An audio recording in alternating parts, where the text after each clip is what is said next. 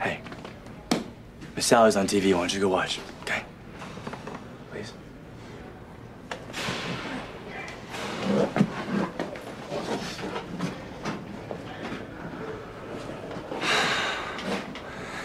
How's it going, cuz? I need some more tits. Whoa. I don't got a never-ending supply. You know what I'm saying? You know, just, just a little bit, you know, just to feel a little better, you know what I mean? You know, it's too bad you got here when you did.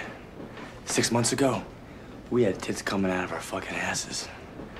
When this guy Adebisi ran the operation, the well never ran dry. What happened to him? He got shanked. That's not the point. When he died, the Spics and the Wops, it took over everything.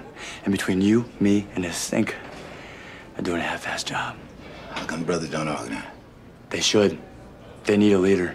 I mean, right now, all they got is this fool poet. He's a complete cum stain. Know, I used to run my block. Well, there you go. Maybe you should step up, huh?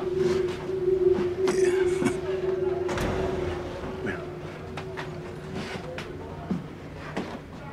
Have some. You see, to get anybody's attention around this place, you gotta do something large. Large. Yeah, like Adebisi, he was large and in charge, bigger than life, feared by one and all. Yeah, well, that's what I want. I want him to fear me.